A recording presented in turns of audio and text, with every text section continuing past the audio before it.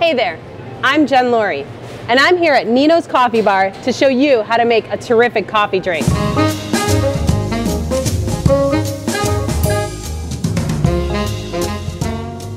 Maybe you don't have a professional cappuccino maker like we do, but you can still make an amazing and warming coffee drink at home. Today, I'm going to show you how to make a Canadian breakfast. First, start with a clean coffee mug. Dip the rim of the coffee mug into some maple syrup and then into some brown sugar. Then take two ounces Cabot Trail Maple Cream Liqueur. That's one. That's two. One ounce Crown Royal Maple Whiskey.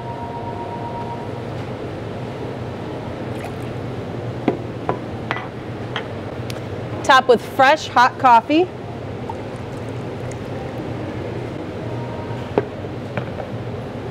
Add some whipped cream on top.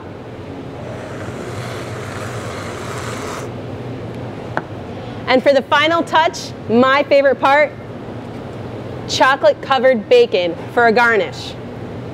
It's that simple. Now you have a warm, delicious coffee drink.